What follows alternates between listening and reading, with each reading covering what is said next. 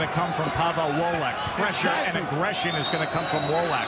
But accuracy and effectiveness may come from Rodriguez. That's the challenge for Schreck Weisfeld and Julie Lederman, our three judges here, as you saw the CompuBox numbers. Exactly. Don't get caught up with the amount of punches, with the blur of punches. Look at what's landing. Look at what's effective. Rodriguez is not going to match Wolak, and he's not matching him with punch numbers. But he's trying to land hard, effective punches.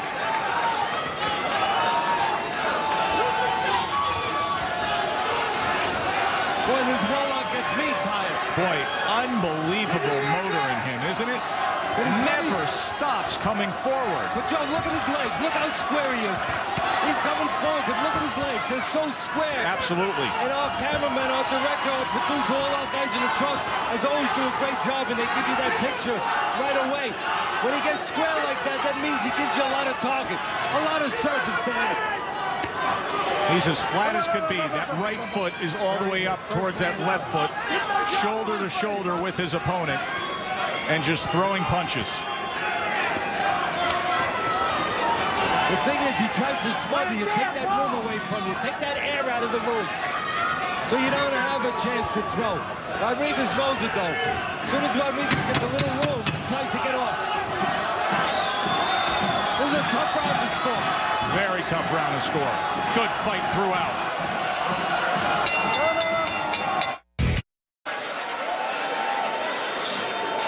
Well, this week in boxing, the news came out that the judges in the Lara Williams fight admonished. And tonight, Tom Schreck, Steve Weisfeld, and Julie Lederman have a tough task. You know, the scoring this fight, Wolak and Rodriguez. You know, Joe, the government comes out and they look out for the baseball players. When there's something wrong, they come out, they have an investigation. Someone has to look out for the fighters because the baseball players is a great sport, but nobody's punching them in the face. These guys are going in the ring. They're taking a chance with their life. They're putting themselves on the line. Somebody has to look out for them. I'm glad that we're exposing the judges. We're looking at it. We're shining a light on them. We're making sure they behave right. Three good ones here in New York for this main event the ones here tonight. And again, they're going to be tested a little bit. These fighters are being tested. Well, they're going to be tested at the end of the night if nobody gets knocked out. Let's show you the CompuBox numbers for the average punches per round. 103 is Pavel Wolak's average. That is an extraordinary number. Well, the body work, I talked about it early, Joe, that Wolak wasn't going there enough. Guess what? He's going there now. And that's a good way of wearing down anybody, especially a smaller guy.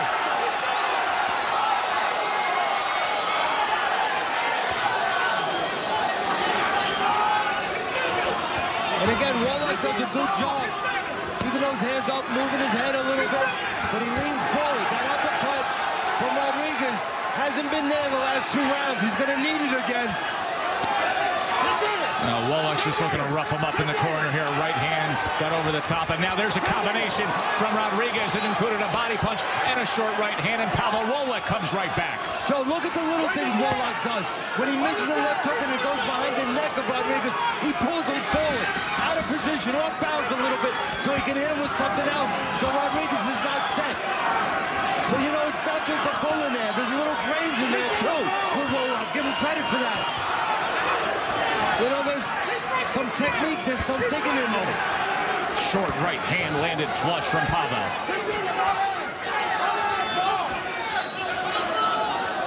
Remember what you said earlier tonight when I introduced Stevie Smoger as the referee? You don't even see him anywhere near these two fighters. He's just letting them work and work and work. He knows how to be a ref. He knows what a ref's there for, and he knows what a referee is not there for. That's why we like him. That's why we get good fights with him. And we got a real good one here, as we thought we would, as we hoped we would. Uppercut by Rodriguez as Pavel continues to pour it on. And one apace here in round number six. And that right eye of Pavel, Wolak keeps getting redder. Hasn't opened yet, though.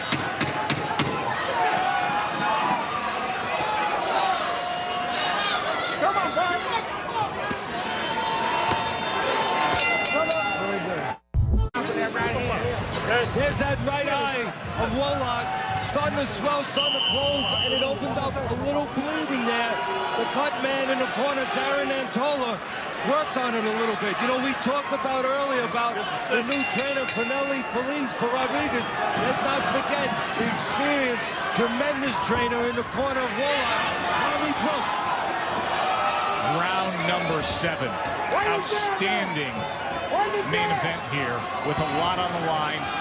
Pavel Wolak trying to maintain his lofty status as a top 10 contending junior middleweight.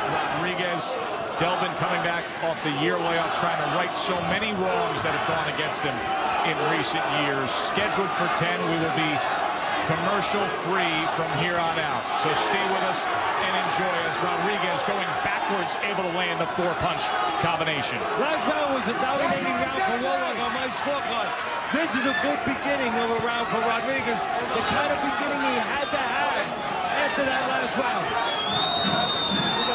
You don't want this guy to get more momentum than he has. I mean, look, Wolak has momentum coming out of the locker room. I mean, he's already coming like a snowball down a hill. But you don't want to get him going any more than he gets going on his own in the ring. You want to slow him down a little bit. Make him respect you a little bit. Don't give him two, three rounds in a row. And that's exactly what Rodriguez is trying to do. Not give Wolak two rounds in a row. You know, moments ago, Delvin landed a left hook and you can see noticeable swelling now around that right eye. That's more severe on Pavel Wolak. Yeah, that right eye's starting to close. In fact, it's swelling now above the brow as well, Teddy.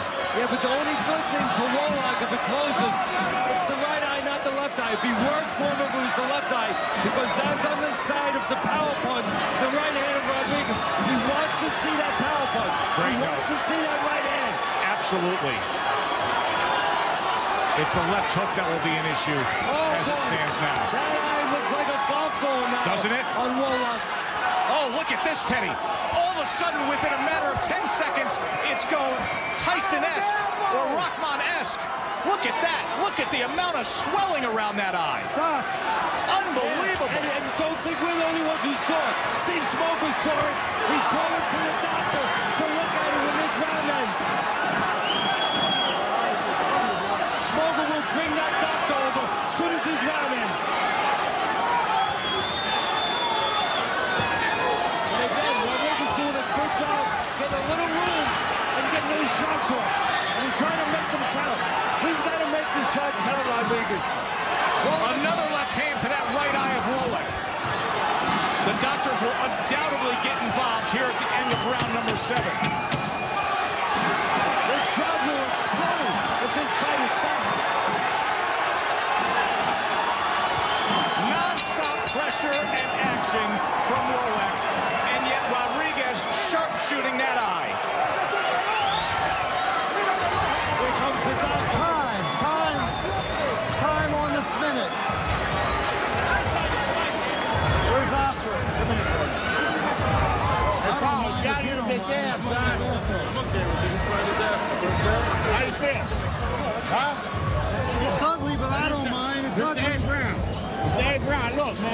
Bring your hands back high, son. But you got to keep using that jab, all right? Huh? Hey, good. Huh? Hey, look, you got to keep the heat on this guy, boss. Keep the heat on him. He's ready to fall. There's some action. Hey, look, he's attacking that leg. He's making a little adjustment. That's experience. That's okay. intellect. He's on the more on that left side where the swelling is and a little less on the right side.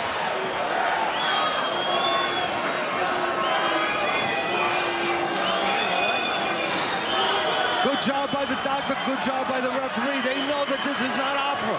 They know this is boxing.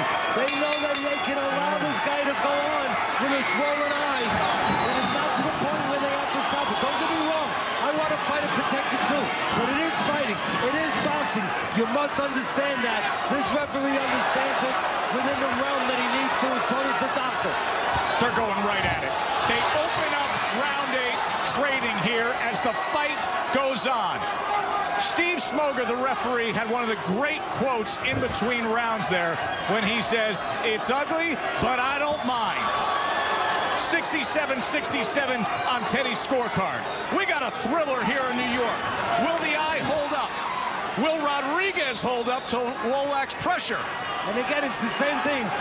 Delvin knows he has to get those punches off before the gap is closed by Wolak. But he tucks up. Once he gets in close, look at what Rodriguez does. He covers up real good, gets into that defensive show, and every once in a while looks to get a little room. Looks for a spot where maybe he can counter.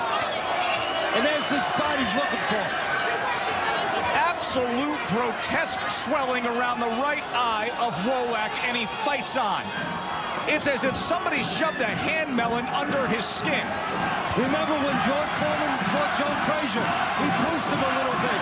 He shoved him back a little bit to get room.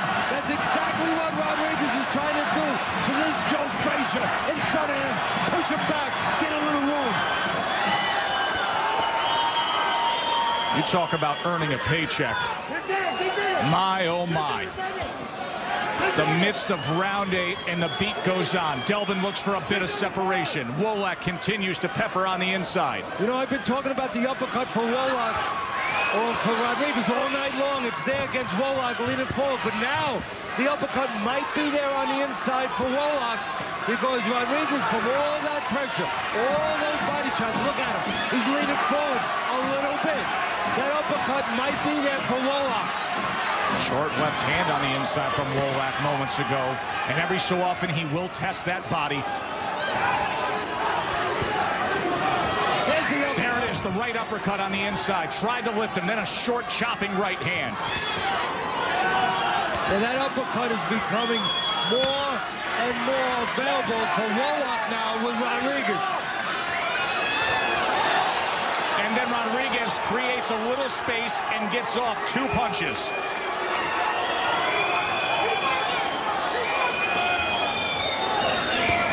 A one-eyed fighter, extreme swelling, and yet continued pressure applied.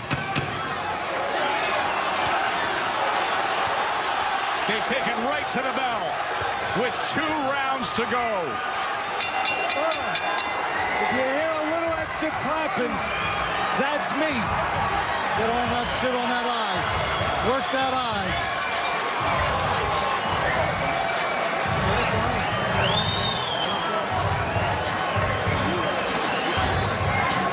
How you feel, Paul? Drop your hand, Paulie. How you feel? Huh? The ninth round coming up, baby. Hey, yo, don't forget your As you jab, Paul. let him fight. You working great, man. All right. I got it close. Let brother. fight. I got it Fight. close. Let him see. Estamos tumba este tipo. Oíste, trabájame. Move, don't stay there, baby. Muévete y saca mano. Six minutes. What do you... Mira, están pensando para la You pelea. gotta go after that eye. Vete al ojo.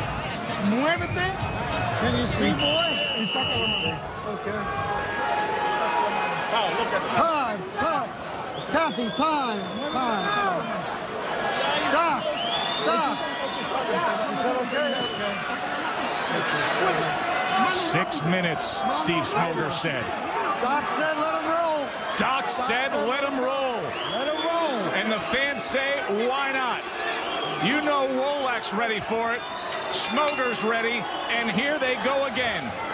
With that huge hematoma around the right eye, Wolak fights on. You know, the great guitarist, the great late Jimi Hendrix once said, excuse me while I kiss the sky. Well, excuse us while we applaud these two fighters. Everything it's supposed to be. Making tough decisions that others won't. To fight on. Can you imagine if one of those heavyweights like David Haye, any of them, fought with this attitude, Please. with this kind of commitment against Klitschko? They would be the champion. Klitschko wouldn't be the champion. There's a short right hand by Rodriguez. Got a little room. He knew what to do with that room, Rodriguez. And then a left hook against that swollen right eye. But still, Pavel right inside the kitchen with short right hands. And now a combination from Rodriguez. The uppercut gets in the mix. Rodriguez taking a little control here. Y'all good, buddy. Wolak still landing a short right hand by the pole. Joe, the bigger, stronger guy, Wolak, the more